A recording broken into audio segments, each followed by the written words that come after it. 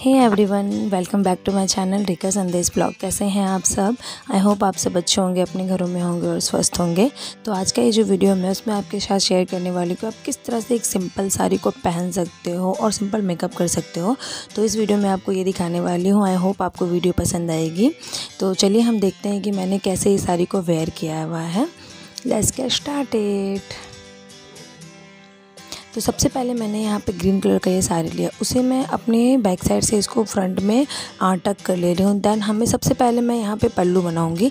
मैंने आपने देखा होगा कि सबसे पहले लोग प्लेट्स बनाते बट मैं यहाँ पे पल्लू बनाऊँगी। उसका रीज़न मैं आपको बताती हूँ। तो सबसे पहले मैं यहाँ पल्लू बनाऊँगी। पल्लू के लिए आपको फिंगर के हेल्प से रफ़ तरीके से आपको सबसे पहले इसको फोल्ड करना है। दैन आपको बैक साइड से फ्रंट की ओर लेके आना है। इस तरह से फ्रंट की ओर मैंने इसको ले आया। उसके बाद हमें इसे अच्छे से प्लेट्स बनाना है। तो प्लेट्स के लिए मैं क्या करूँगी कि सबसे पहले जो हमने बैक साइड में जो हमारा साड़ी है ना, उसे हम आगे की ओर उसको टक कर लेंगे ताकि जब हम प्लेट्स बनाएँ तो हमें कोई प्रॉब्लम ना हो। तो इसे मैं सबसे पहले इस तरीके से हल्का सा लेके मैं इसको टक कर लूँगी, दैन मैं पल्लू बनाऊँगी। उसके बाद में प्लेट्स बनाऊँगी। तो पल्लू के लिए मैं फिंगल के से छोटे छोटे इस तरह से फोल्ड करूँगी। दैन आपके ऊपर डिपेंड होता है कि आपको किस तरह से पल्लू का प्लेट्स बनाना है। मैं यहाँ छोटे छोटे प्लेट्स बनाती हूँ। उस तरीके से आपको प्लेट्स बनाना है। तो मैं यहाँ प्लेट्स बना ले रही हूँ और प्लेट्स को बहुत अच्छे तरीके से बनाना है गाइस बहुत अच्छे तरीके ताकि आपकी साड़ी का जो लुक है ना, बहुत अच्छा है। तो इस तरीके से मैं इसको वेयर करूँगी। देन मैं इसे अपने शोल्डर पर डालूँगी। एक करने के बाद सेकंड भी हमें उसी तरह से करना है, उसके बाद हम इसे शोल्डर पर डालेंगे। तो मैं यहाँ पे अच्छे से इसको कर ले रही हूँ। और भी मैं आपके लिए सारे की वीडियोस लेके आने वाली हूँ तो आप प्लीज़ हमारे चैनल को सब्सक्राइब करके तो ज़रूर जाइएगा। तो यहाँ पे मैंने इसको शोल्डर पर डाल दिया इसे मैं पिनअप कर लूँगी। पिनअप करना है बहुत अच्छे से, आपको जितना पल्लू चाहिए आप अपने अकॉर्डिंग कर सकते हो। उसके बाद जो फ्रंट का है ना, उसे मुझे इस तरीके से सेट करना है, आपको मैं सामने से दिखा तो मैंने यहाँ पिनअप कर लिया। फ्रंट का हमें इस तरीके से लेके जाना है और जो हमारा बैक साइड है, जो हमने किया तो उसे हमें अब प्लेट बनाना तो प्लेट के लिए मैं क्या करूँगी?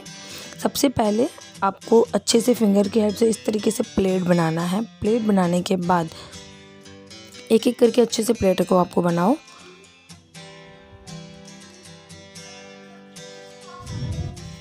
प्लेट बनाने के बाद आप देखोगे कि ये जो छोर है ना, ये जो हाँ साड़ी का जो हल्का, वो मैं उसे अपने राइट साइड में इसको मैं हल्का सा टक कर ले रही हूँ। इसका रीज़न ये है कि इसे मैं राउंड करूँगी, मैं आपको बताऊँगी।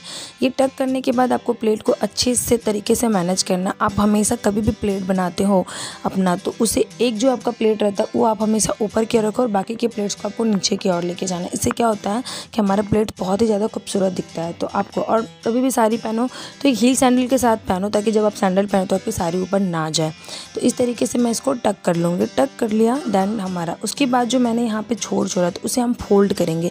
अब मैं बताती हूँ कि मैंने पहले स्टार्ट में पल्लू क्यों बनाया था और बाद में प्लेट क्यों बनाया क्या होता है कि पहले हम पल्लू बनाने के बाद जो हम जो हमारी साड़ी का जो एंड था, जो मैंने राइट में लिया था, उसे हम राउंड करेंगे। तो आप देखो कि बहुत अच्छा सेप आता है यहाँ पर बहुत अच्छी तरीके से, बहुत अच्छा लुक दिखता है।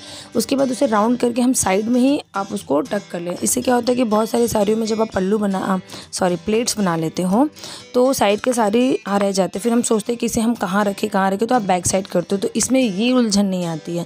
ये अच्छे तरीके से हो जाता है। तो इस तरीके से हम इसको पहन लेंगे। दैट सेट हमारा साड़ी पहन के रेडी हो गया। तो इस तरीके से आप साड़ी को पहन सकते हो। आपको कोई प्रॉब्लम नहीं हो कि आपका जो बचा हुआ है प्लेट बनाने के बाद जो बच जाती है साड़ी नॉर्मल में, वो हमें कहाँ फोल्ड करना है। तो आप इस तरीके से इसको पहन सकते हो गाइज़ तो इस तरीके से मैंने इसको पहन लिया। फिर मैं सोची कि कुछ ज्वेलरीज वगैरह पहन लें तो एक सिंपल सा लुक देने के लिए। तो मेरे पास ये ग्रीन कलर का ज्वेलरी था तो मैंने ये ज्वेलरी को यहाँ पे वेयर कर लिया है। इसके इयर भी इसके साथ ही ये ज्वेलरी मैंने मीशो से लिया हुआ है। इसका कोड मैं आपको दे दूँगी, आप चेकआउट कर लेना। उसके बाद मैं इसके इयर डाल लूँगी। पहले मैंने सोचा था कि मैं कमर बंद में डालूँ। मैंने कमर बंद डाल के ट्राई किया था बट वो मुझे अच्छा नहीं लगा।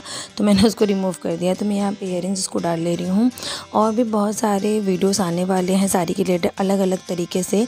तो आप वीडियो को ज़रूर देखिएगा। चैनल को सब्सक्राइब करके ज़रूर जाइएगा। तो ये रहा गाइज़ मेरा फाइनल लुक आई होप आपको समझ में आया होगा कि मैंने किस तरीके से एकदम सिंपल से साड़ी को वेयर किया हुआ है। वीडियो पसंद आती है तो मेक सिर्फ़ वीडियो को लाइक चैनल को सब्सक्राइब और आप बताएँ कि और क्या क्या मैं आपके लिए लेके आऊँ, कमेंट तो ज़रूर करें गाइज़